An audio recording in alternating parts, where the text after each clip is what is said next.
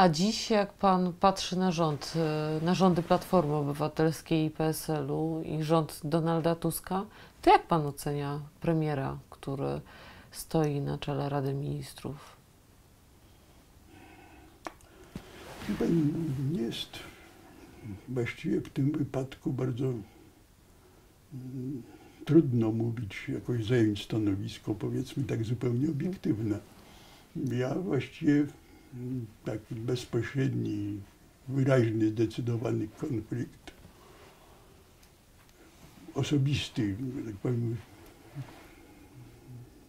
no, możliwość skonfrontowania, powiedzmy, moich pewnych stojących, przyjętych przeze mnie zadań z jego mm, stosunkiem do, do, tego, do tej sprawy zacząłem się tylko raz. Mianowicie jak Tusk objął stanowisko premiera, powstała kwestia w ostatnim momencie, powiedzmy, rządu Jarosława Kaczyńskiego mm, objęcia przeze mnie funkcji przewodniczącego komisji weryfikacyjnej.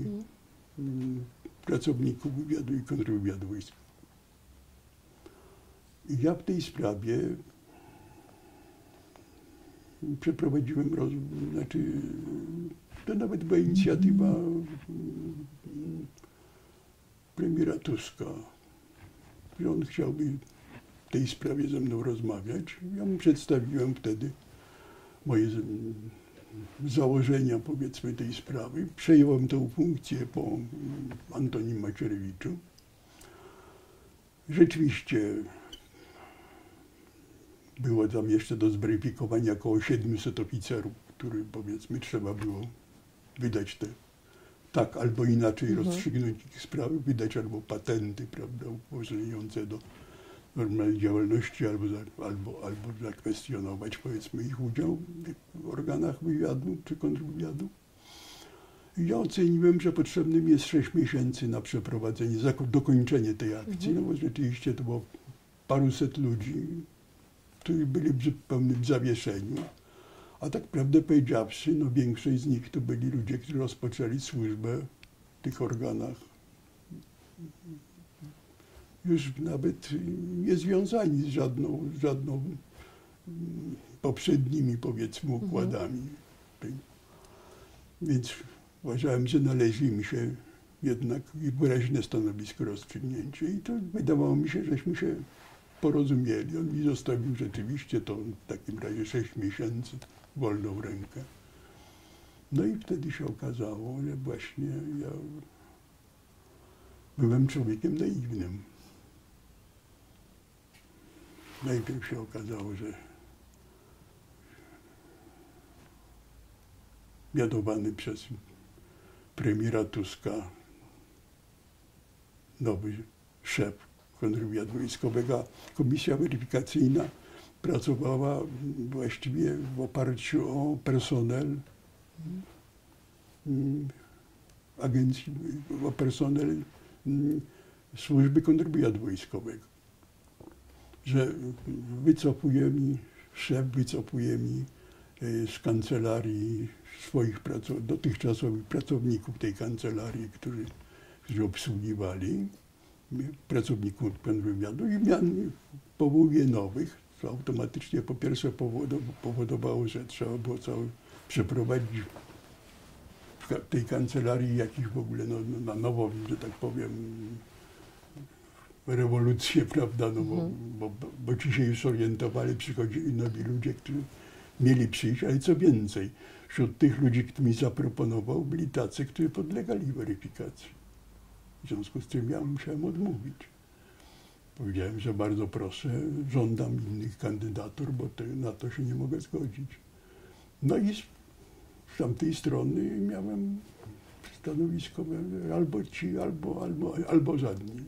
Krótko mówiąc, zamykamy kancelarię. W związku z tym no, uniemożliwiamy pracę. W tej sprawie ja interweniowałem. Premier był zawiadomiony bez reakcji. cztery miesiące walki o to zupełnie oczywistą sprawę. Następnie, jak już nastąpiła zmiana na stanowisku szefa służby kontrwywiadu wojskowego, następca rzeczywiście dokonał, wycofał mi te kandydatury, które ja kwestionował, mianował innych pracowników. No ale z kolei się okazało, że nie można zweryfikować, y, wystawić powiedzmy mm, w żaden sposób byśmy korzystali z pewnego systemu mhm. informacji komputerowej, powiedzmy, na tym, która wymagała zabezpieczenia. Że w żaden sposób i to zabezpieczenie ten, w tym zakresie musiał, mogło być dokonane tylko przez pracowników kontrwywiadu. Otóż przez nas wiele tygodni nie można było się doprosić, żeby oni przeprowadzili ten, to, bo oni są, bo oni to techniczną czysto czynność. Wszelkie interwencje premiera pozostawał bez odpowiedzi. W rezultacie to doszło do tego, że myśmy prowadzili tą akcję weryfikacyjną, no, tak metodami króla świeczka, to znaczy powiedzmy sporządzało się protokoły ręcznie. W ogromnej większości, no nie wiem, tam się udało zweryfikować 300 czy, czy, czy, czy 300 czy dwustu kilkudziesięciu ludzi, ale ogromna większość pozostała. No i w momencie, kiedy upłynęło te sześć miesięcy, ja w związku z tym oczywiście zwróciłem się o ewentualne przedłużenie, no bo mhm. uważałem, że jeszcze, jeżeli będę miał dwa dodatkowe miesiące, dwa, trzy, to się uda to przetrwać do końca. Po prostu w momencie, kiedy 30 czerwca pół roku, mhm. że tak powiem, jak upłynął upłynął ten termin, to mimo, że już nie skończyli akcji, po prostu służba kontrwywiadu wojskowego, bez mojej zgody, bez zawiadomienia prezydenta, przebrała akta po prostu metodą faktu dokonanego. Akta komisji weryfikacyjnej, której nie były, były oczywiście, lwia część to były oczywiście akta wywiadu wojskowego i kontrwywiadu wojskowego, ale były tam także akta, z których myśmy korzystali, szeregu innych instytucji. Wszystko to razem zostało Zabrane. w ciągu jednej nocy wywiezione i zostaliśmy pozbawieni możliwości. Dzisiaj nie mam wątpliwości, że bez zgody premiera i to zgody przyjęte już na samym początku naszych kontaktów na tego rodzaju postępowanie byłoby taka procedura by nie, byłaby niemożliwa.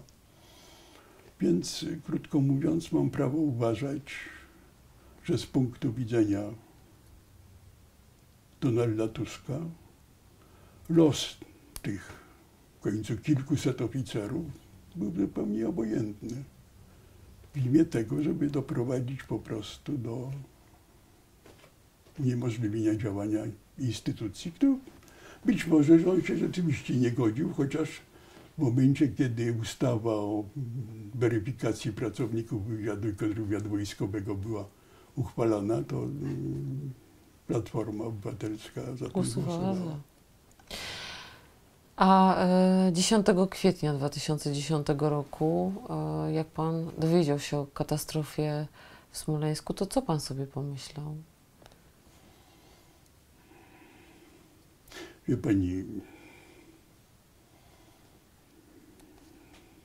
to jest sprawa, w której trudno jest dzisiaj powiedzieć coś w sposób jednoznaczny, bo właściwie to, co możemy w tej chwili powiedzieć, to możemy tylko powiedzieć, że przyczyna tego wydarzenia pozostaje niewyjaśniona. Że będą, wiadomo jest w tej sprawie, przy tym stanie dowodów, jakie są w tej chwili, już tylko jedno, mianowicie, że powody przyjęte oficjalnie zarówno przez Komisję MAKU, jak i przez Komisję ministra Millera są nieprawdziwe. To nie był błąd pilotu. Stało się coś, co w tym stanie, w obecnym stanie spraw, nie możemy w sposób kategoryczny orzec, co się stało. Prawidłowy odczyt czarnych skrzynek dokonany przez placówkę, którą ja uważam za bardzo miarodajną, bardzo profesjonalną, mianowicie Instytut Zena w Krakowie, mm. wskazuje, że cały ten misterny wywód, który był przeprowadzony, zostawiam komisję maku na boku, mm bo to tendencyjność tego jest zupełnie oczywista. Ale jeśli chodzi o komisję Millera, to tam koncepcja oparta jest na tym, że błąd pilotów polega na tym, że oni się nie orientują, fałszywie odczytują wysokość, na której się znajdują. Decyzja, którą podjęli, znaczy decyzja odejścia w związku z tym, mhm. że lądowanie jest niemożliwe, jest prawidłowa. Tylko no, patrzą nie na ten wysokościomierz. Mhm. Jest oczywiście drugi wysokościomierz, który pokazuje prawidłową Prawidłowo. odległość. Jest ktoś, kto podaje tą prawidłową wysokość, ale według komisji Millera to jest generał Błasik, który jest w tej chwili w kabinie, w tamtej chwili, mhm. w momencie powiedzmy, mm, był w kabinie pilotów i on odczytuje głośno tą wysokość, nie mając kontaktu z pilotami, którzy mhm. mają słuchawki na uszach i słyszą tylko siebie. Właściwie wygłasza to sobie amuzą. Mhm. To, to, tymczasem okazało się, że tam nie ma żadnych śladów przy prawidłowym odczytaniu tej, tej czarnej skrzynki przez specjalistów, naszych specjalistów z Krakowa. Nie ma żadnego problemu generała Błasika, nie wiadomo skąd w ogóle jest taki pomysł. Nie ma jego głosu, nie, nie da się zidentyfikować. Natomiast y, tą prawidłową wysokość podaje po prostu drugi pilot, który ma kontakt mhm. z prowadzącym samolot i jest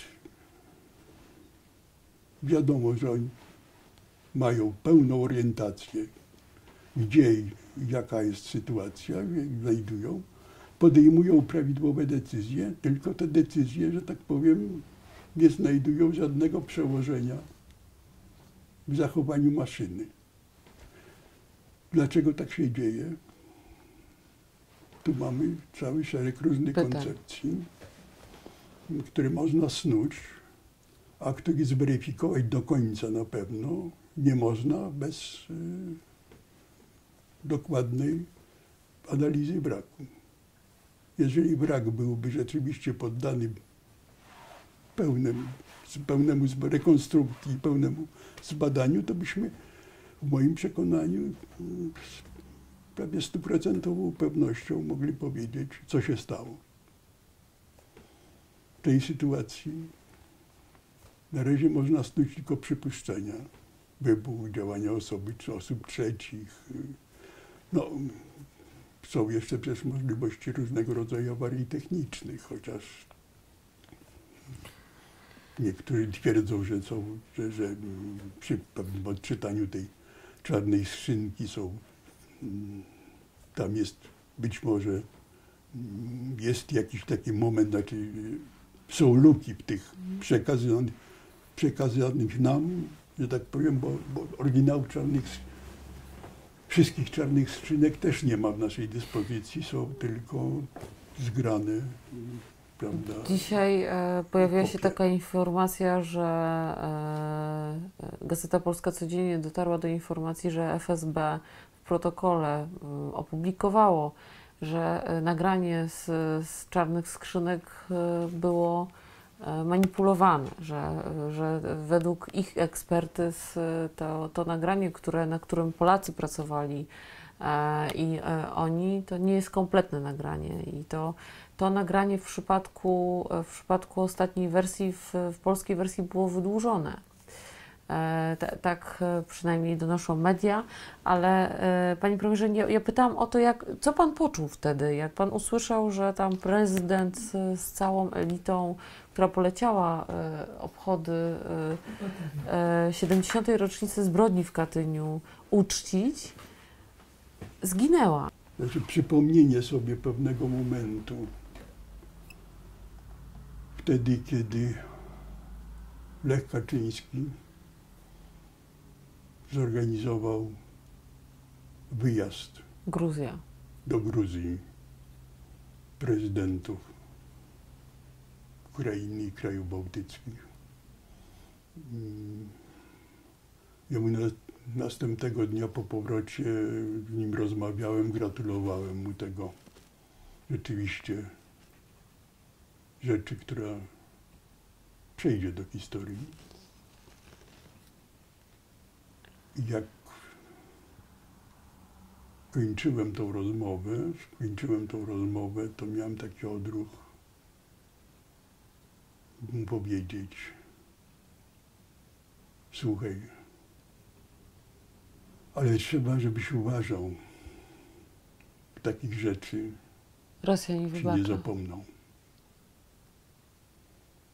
I przypomniał mi się ten moment wtedy, w tą niedzielę 10 kwietnia, kiedy zobaczyłem w telewizorze, podano wiadomość, że jest samolot się rozbił. Prawdę powiedziawszy, byłem wtedy przekonany nawet, że tam także jest Jarosław, bo on miał lecieć. No. Nawet nie wiedziałem, że w ostatniej chwili, ze względu na stan zdrowia matki, po prostu zdecydował się zostać. Myślę, że to jest rzecz, która jest przed nami jeszcze, jeśli chodzi o wyjaśnienie wszystkich okoliczności. A czy w Polsce zapanuje w końcu prawdziwa demokracja i czy Polska będzie takim krajem, który pan, na który będzie Pan patrzył z dumą, będzie Pan mówił, Polacy jesteście wolni? Czy, czy Polacy jeszcze mają szansę rozwalić ten układ, który pozostał po okrągłym stole? Czy mają szansę? No szansa jest oczywiście. Ja muszę powiedzieć, że ja mm, byłem bardzo mm, jakoś tak dobrej myśli w momencie, kiedy w 2005 roku, kiedy nastąpiły te podwójne wybory, prawda, kiedy wybrany został najpierw Lech Kaczyński, a później były wybory, które dały właściwie tą pierwszą pozycję i możliwość, że tak powiem, mm, powoływania szefa rządu PiSowi, że oto wracamy do, mhm. po latach wracamy do pewnego układu. Możemy po raz drugi podjąć próbę, powiedzmy, zasadniczej zmiany tego układu. No ale Później się okazało, że to można zrobić tylko, jakby to powiedzmy, powiedzieć, no, korzystając ze wsparcia dwóch ugrupowań, których, no, powiedzmy sobie, miały politycznie trochę wątpliwy charakter. Ja myślałem zresztą na początku, że to jednak mimo wszystko jest możliwość powołania takiego rządu i, i sprawnego działania po pierwszych doświadczeniach, przyjrzeniu się temu, doszedłem do wniosku, że przeprowadzenie takiej operacji z udziałem partii Lepera i partii Gertycha to się nie uda. I że w tej sytuacji jedynym wyjściem jest powtórzenie wyborów. Mhm. To był zresztą było stanowisko prezydenta, stanowisko Lecha Kaczyńskiego i ja w tym zakresie mm, podzielałem je w pełni. Mm, Ja roz, to bardzo trudne do, do realizacji ze względu na to, że Platforma, jak wiadomo, nie godziła się na skrócenie kadencji Sejmu. Mm, To było, trzeba było bardzo w sposób bardzo ryzykowny wykonać ewentualnie powiedzmy taki zabieg, żeby uniemożliwić powołanie rządu w ogóle, prawda, i doprowadzić wreszcie do, do możliwości, do konieczności rozwiązania Sejmu. Mm. Była bardzo trudna decyzja. Jarosław, który to wziął na siebie, powiedział zresztą wtedy publicznie, że być może będzie to największa pomyłka polityczna w jego karierze, ale ja nie rokowałem temu powodzenia od samego początku. No i rzeczywiście to ta druga szansa też wskutek tego została ze względu na tego rodzaju mm, uczestników koalicji rządzącej zmarnowana. No teraz być może jesteśmy w przededniu powstania po raz trzeci takiej możliwości i tu jestem, powiem, pełen nadziei. A jak będzie, zobaczymy. Bardzo serdecznie dziękuję Panie Premierze za tą rozmowę. Wszystkiego dobrego.